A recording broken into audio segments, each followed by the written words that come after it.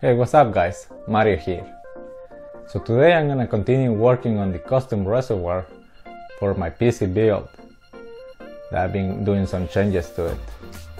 So on the last video, I end up making all the cuts needed to make the reservoir. So today, I'm gonna need to tap all the holes, polish all the edges, and make the O-rings.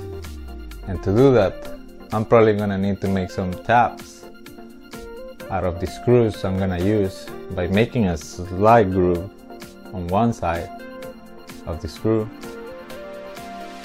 Then I'm probably gonna use some sandpaper. Probably begin with 400 all the way to 1500 to polish all the edges. Then make the O-rings with the O-ring core and some special glue finally test for leaks. And hopefully everything goes well. So let's get to it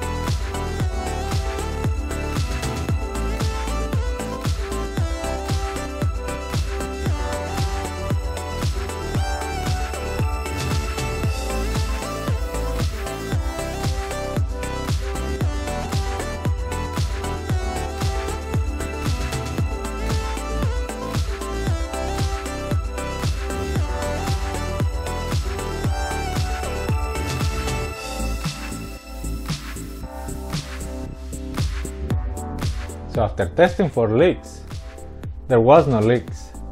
But before I can put it in, I still need to make a couple things to it. I need to make four holes on each corner to secure it to the frame. I need to remove the Swiftech H220 since I'm no longer gonna need it for this build. Make all the new hard tube bands and then there's a couple things I still need to figure it out. One is not sure what to do with the front panel. Either make it hole so you can see the reservoir or make some type of logo or just make a whole new panel.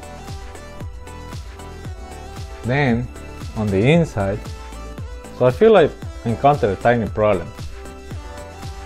Once I remove the Swiftech H220X, I'm gonna end up having a wide open space in the back of it. So I need your ideas or suggestions on what should I do there. So just leave me a comment on what you guys think I should do. I wanna keep pushing the boundaries and keeping it fun and entertaining while do doing this type of builds. I really hope you guys like this video. If you did, don't forget to like, share and subscribe. And always, thank you for watching.